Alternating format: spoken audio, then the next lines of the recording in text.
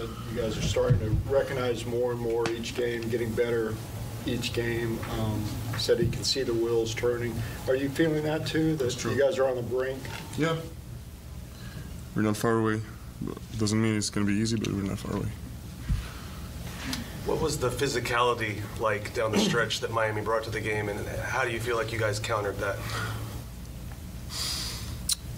I mean, it was uh, it was okay. It's, it's a very experienced team.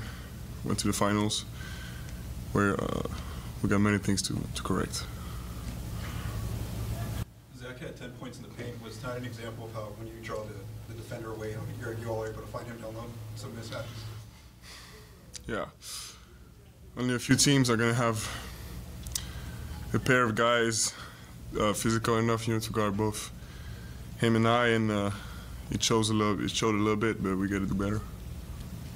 I think it was a couple weeks ago you said you you know winning is the thing you love most out of everything. On the flip side of like, how do you, how do you handle how do you process uh, losing? I mean, it's uh, it's just motivates me more. You know, we're not no, nobody in the locker room is putting their head down and giving up. So we're we're here. You know, we're ready. Victor, are you making an effort to be like a concerted effort to be more aggressive? Or are you still kind of letting the game kind of come? Just seemed like you were a little bit more aggressive tonight.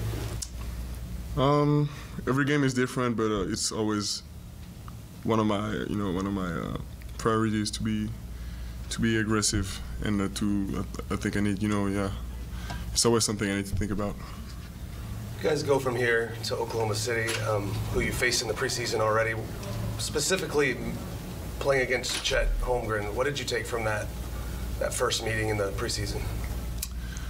Um, it's uh, someone we, we got to keep in mind in offense because he's a shot blocking threat and uh, and also a, a lob threat, you know, and uh, so it's it's uh, somebody we gotta keep in mind. In the, the pair of him and uh, Shai, it's gonna be hard to handle, but we, we're gonna do, you know, we, we gotta make it work. When, when you faced him in FIBA a long time ago, what jumped out at you in that game?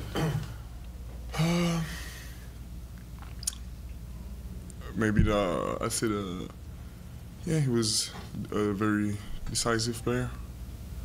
Uh, When you see a team a second time, what would change it? I think we saw that the Houston game in the regular season uh, compared to the preseason, the two Phoenix games. This is going to be your second time seeing OKC. What is, well, I, I guess, kind of when you when you see a second a team for a second time, what what changes for you? Mm, the games are very different, especially from the preseason, but it's you know it's still something we. I haven't faced teams twice very often so far. I think just the Rocket, the Rockets, and they had, and and the, the Heat, but neither of these they had the same, very much the same roster. So I can't really know yet.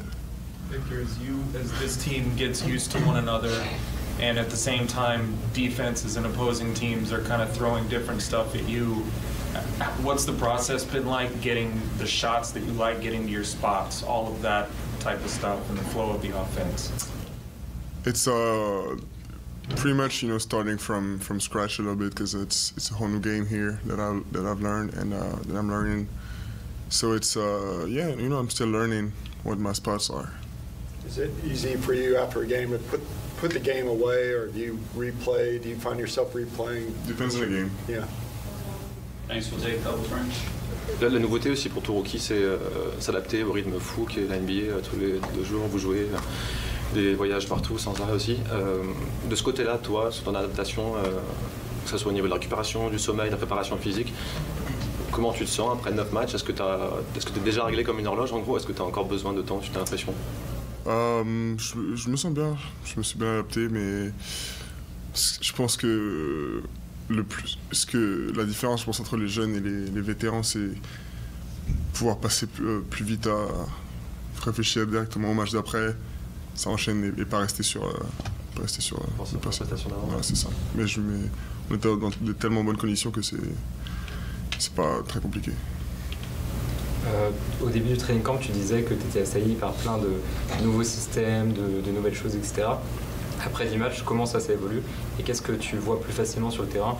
Qu'est-ce qui a progressé pour toi concrètement? Ça a changé, ça a changé. Euh, moi, je, me, je, me, je m'y retrouve un peu plus, mais je sais encore qu'en tant que jeune équipe, on est, il y a toujours des moments où on est un peu, un peu perdu de temps en temps. Mais, euh, mais de mon côté, je m'y retrouve. Et euh, Pop disait que right here. Ouais, Victor, je sors un petit peu du match. Je voulais vous savoir qu'est-ce qui a changé principalement pour toi entre ta vie au mètre 92 et ta vie ici en NBA, notamment d'un point de vue médiatique. On te voit quasiment, on te voit après tous les matchs, parfois à l'entraînement, alors qu'à Marcel Sardin, on te voyait euh, assez rarement en conférence de presse. Comment est-ce que tu gères un petit peu ces, toutes ces questions au niveau des médias? Est-ce que ça, ça te saoule parfois ou tu prends ça avec... euh, Non, c'est, c'est sûr que moment, peut-être au bout du 50e match, ce, ce sera un peu relou. Mais, mais c'est quelque chose qu'il faut. Non, j'ai pas envie de dire faire avec, mais c'est quelque chose qu'il faut, faut s'en servir pour, la, pour faire du bien, parce qu'après, ça permet de. C'est pas seulement un, un handicap, parce que ça permet aussi de faire passer des messages. Donc c'est. pour moi- Et puis aussi de communiquer, à répondre à des questions qui intéressent les gens. donc c'est, quand même utile. Thanks. Merci. You guys.